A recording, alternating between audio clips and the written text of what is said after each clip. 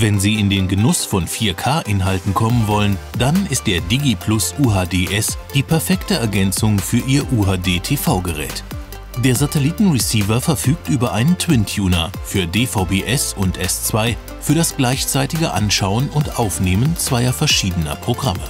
Die Aufnahmen können Sie dann ganz flexibel auf USB-Datenträgern oder im Netzwerk ablegen.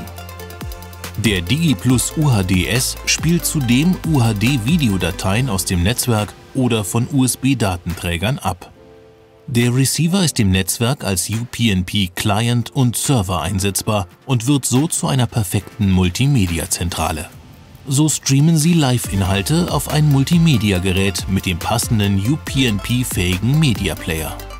Der smarte Receiver ermöglicht über die ISIO Internettechnologie Zugriff auf Mediatheken, ISIO-Apps oder HBB-TV. Dank der Technisat Connect App steuern Sie den DigiPlus UHDS ganz einfach. Nicht nur zu Hause.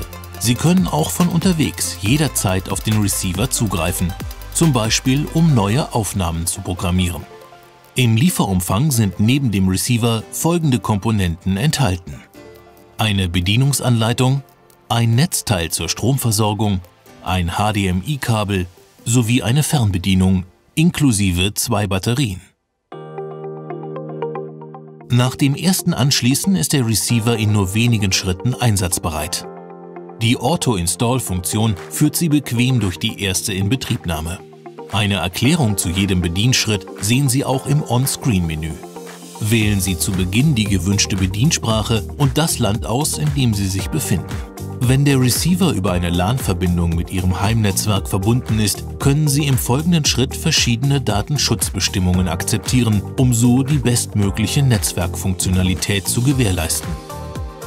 Nach der Auswahl Ihres Bildschirmformates und des Empfangswegs gelangen Sie zu den Antenneneinstellungen. Hier können Sie nun den Receiver an die angeschlossene Antenne anpassen. Die aktuelle Software wird, sofern nicht bereits installiert, automatisch geladen. Die Aktualisierung der Programmliste wird vom Receiver auf Wunsch ebenfalls automatisch durchgeführt.